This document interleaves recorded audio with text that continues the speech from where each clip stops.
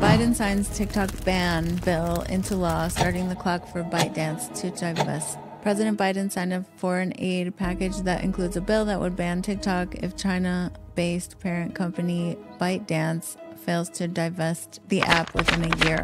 Yeah, so basically they they're trying to, they're giving him an ultimatum to either sell to a US controlled entity or basically get rid of it. It says they have an initial nine months sorted out, and then the president would be able to extend it by three months if, you know, they're close and they need the time. The most likely scenario that I think will happen is that they'll come to some kind of agreement, which is basically what happens with all the other apps, to where they'll reach some kind of middle ground with the government, say, okay, whatever those terms might be, but the government's gonna have to get their piece of the pie some way, somehow. And if they don't, then yeah, they'll get banned, but everyone will just, you know, they'll continue to use it with a VPN, and that'll be that.